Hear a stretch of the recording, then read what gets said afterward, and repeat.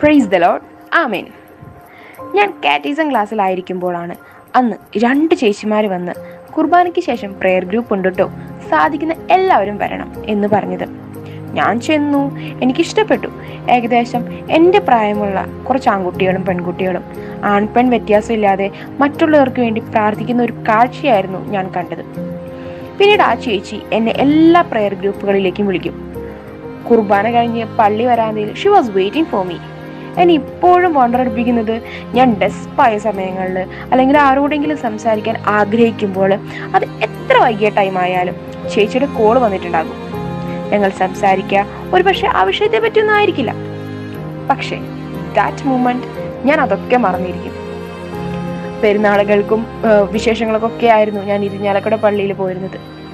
പക്ഷേ ആ ഇരിഞ്ഞാലക്കുട പള്ളിയിൽ എനിക്ക് ദിവ്യകാരുണ്യനാഥനെ പരിചയപ്പെടുത്തിയത് ചേച്ചിയായിരുന്നു. കോളേജ് കഴിഞ്ഞ് ചേച്ചി കുർബാനയ്ക്ക് വരുന്നതൊക്കെ പിന്നീടുള്ള എന്റെ ജീവിതത്തിലും അങ്ങനെയൊക്കെ ചെയ്യാൻ ഒരു മോട്ടിവേഷൻ ആയിരുന്നു. വീട്ടിൽ പപ്പയ്ക്കും അമ്മയ്ക്കും ഒക്കെ ചേച്ചീനെ പറ്റി അറിയാനും സംസാരിക്കാനും ഒക്കെ ഒത്തിരി താല്പര്യം ഞാൻ കണ്ടായിരുന്നു. ചേച്ചി ഉണ്ടോ? എങ്കിൽ നീ ഏത് പ്രോഗ്രാമിനായാലും പൊക്കോ?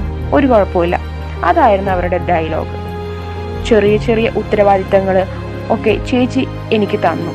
ഒരു കംപ്ലീറ്റ് ഇൻട്രോവേർട്ടായ എന്നെ മനസ്സിലാക്കാനും കൂടെ ചേർത്ത് പിടിക്കാനും ചേച്ചിയെടുത്ത എഫേർട്ട് അതിനെക്കുറിച്ച് ഇന്ന് ഞാൻ ചിന്തിക്കുമ്പോൾ എനിക്ക് മനസ്സിലാകും അത് ഈശോയുള്ള സ്നേഹത്തെ പ്രതിയായിരുന്നു. ഞങ്ങളുടെ ഇടവകയിൽ ഞാനും ചേച്ചിയും മാത്രമുള്ള പ്രെയർ മീറ്റിംഗ് ഉണ്ടായിട്ടുണ്ട്. അവിടെ ഞങ്ങളുടെ കണ്ണീരിന് സാക്ഷ്യം നൽകാൻ ഈശോ മാത്രം ഉണ്ടായിരുന്നുള്ളൂ. ഇന്നും എന്റെ പ്രാർത്ഥനയിൽ ചേച്ചിയുണ്ട്. സോ ഇതുപോലെ നമുക്ക് മുന്നിൽ ദൈവം നൽകിയ ചില വ്യക്തികളുണ്ട്.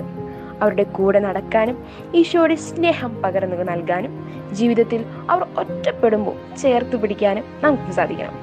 ഈ ഒരു വലിയ ദൗത്യം ഈശോ നിങ്ങൾക്ക് ഇന്ന് നൽകുകയാണ്. നമുക്ക് പ്രാർത്ഥിച്ചു വരുന്ന പ്രൈസ് ലോഡ്